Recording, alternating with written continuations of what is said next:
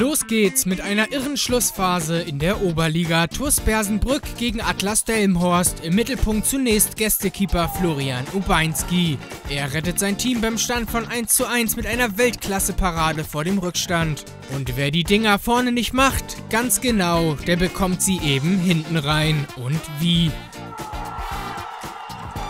Bersenbrücks Schlussmann schießt seinen eigenen Mann K.O. und kann dann nur noch zuschauen. Bitter gelaufen.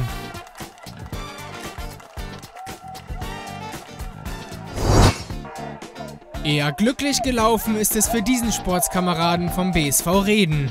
Nach seinem Ballverlust folgt das Frustfaul.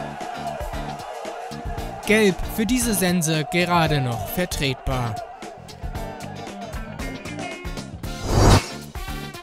Deutlich sehenswerter geht es in der Verbandsliga zu. Christian Disch bewirbt sich mit einem Geniestreich für das Tor des Monats. Was für ein genialer Treffer! Da gibt's mal so gar nichts zu halten.